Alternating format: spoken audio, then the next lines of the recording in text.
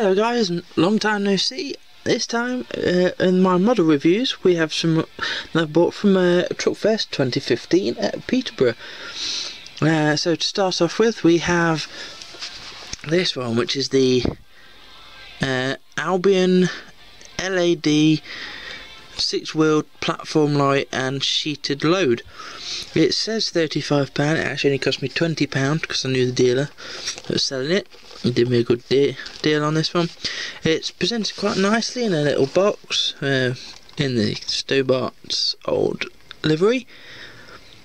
Uh, detailed scale model for the adult collector includes numbered limited edition certificate and is made by the old Corgi Classics of Leicester. So, without further ado, I'll take the box apart. So, attached to the window is your certificate. That's your certificate in the bit of wood, uh, cardboard there. It is 4,008 of 5,000 produced. And give you a bit of history about the company. 150 scale this model. And it, it's uh, an older style lorry. And this type is in slightly different to the Hauliers renowned box packaging.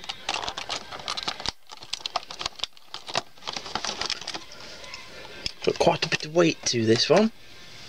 Quite a bit. It's quite a weighty one.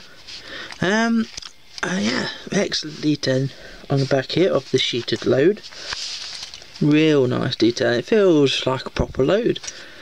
But how heavy it is, it's like a lump of concrete. So it's just green and red, no white at all in the livery, because this is an earlier model. A E dot Stobart Limited dot, old S emblems, uh, Albion logo, there in the grill, plate DO 9895 don't know if that's real plate or not. Uh, Tel Caldbeck 206 A Stobart Limited Cumberland in the squealy writing. It's express road haulage on the side of the sheeting. Supposed to be tarpaulin and then you've got the strap. So it does look quite uh, nice actually. And underneath you've got good detailing of the prop shaft, the exhaust and the uh, tyres are actual real rubber. It goes quite well as well, no restrictions in the movement.